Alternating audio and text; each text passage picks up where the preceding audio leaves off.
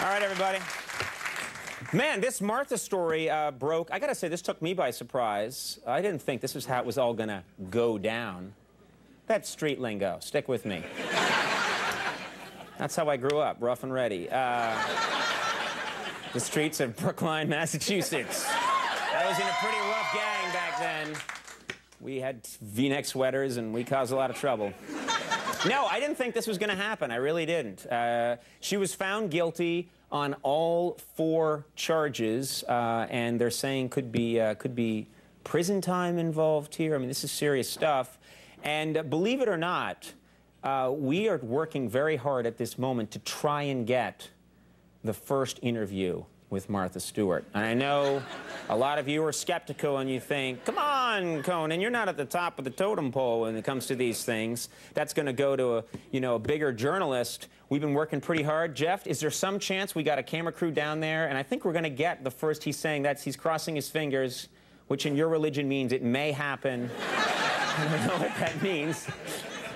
But uh, we're working on this, so bear with us. We may have the, uh, the first interview. That'd be very exciting. Um, and as I said, I told you who our lineup going to be tonight. Pretty amazing lineup. Uh, we're going to have a fantastic show this evening.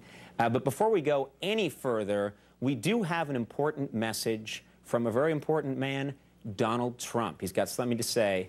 Let's hear him out. Over the past 30 years, I've turned the name Trump into one of the most prestigious brands anywhere in the world.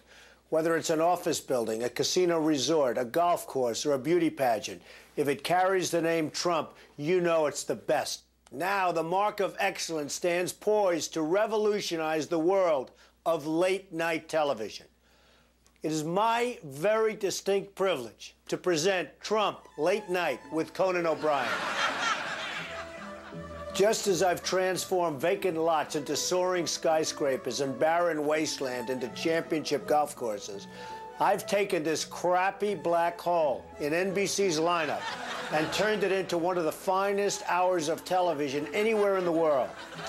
It all begins with a brand new $80 million set, complete with marble fountain, furnishings from Versailles, 30 tons of gold, and the word Trump on every visible surface.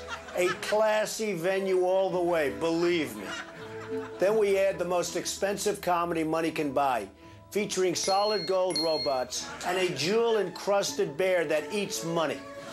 And we top it all off with some of the biggest names in showbiz. Such current, and I mean current, stars as Tom Jones, Hall & Oates, and Don Rickles. I mean, he's really a guy.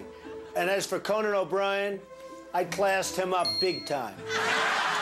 So if you're ready for a whole new level of luxury and elegance in late night comedy, step up to the best. Step up to Trump Late Night with Conan O'Brien. You're going to really enjoy it.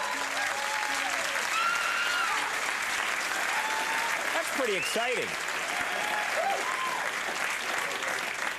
If anybody can turn this thing around, it's Trump. I'm looking forward to that. That's going to be great. Watch for that. Coming soon in the fall. yeah. And